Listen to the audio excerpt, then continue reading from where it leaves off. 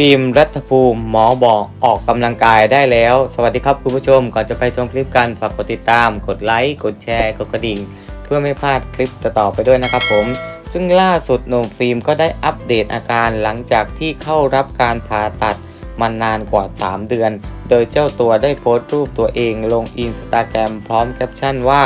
วันนี้มาตรวจเช็คร่างกายหลังจากการผ่าตัดไป 3 เดือน ตอนนี้ร่างกายหายด้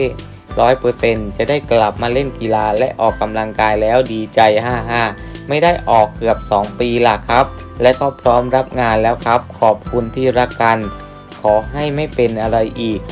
555ซึ่งอย่างไรก็ตามทางเราก็ขอให้โนฟิล์มมีสุขภาพร่างกายที่แข็งแรง และสามารถกลับมารับงานละครงานร้องเพลงอีกเช่นเดิมนะครับผม